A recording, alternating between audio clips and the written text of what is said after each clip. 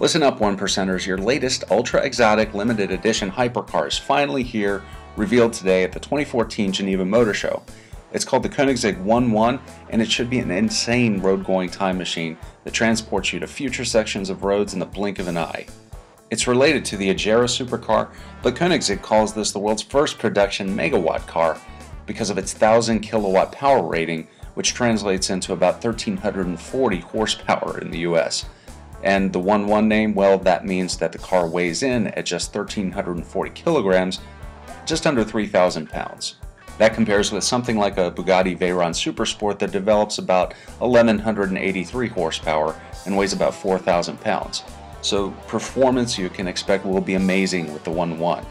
Koenigsegg is confident the car will set new acceleration records for 0 to 124 miles an hour, 0 to 186 miles an hour, even 0 to 248 miles an hour. The engine fitted to the 1.1 is Koenigsegg's own twin-turbocharged 5-liter V8. It uses variable geometry turbochargers and an exhaust with titanium that's also 3D printed. Drive goes to the rear wheels only by a 7-speed dual-clutch gearbox that Koenigsegg also designed itself. There's also an active chassis system that can adjust the ride height and shock absorbing levels based on data collected from 3G and GPS services. If you haven't signed up for one yet, well, you're probably out of luck.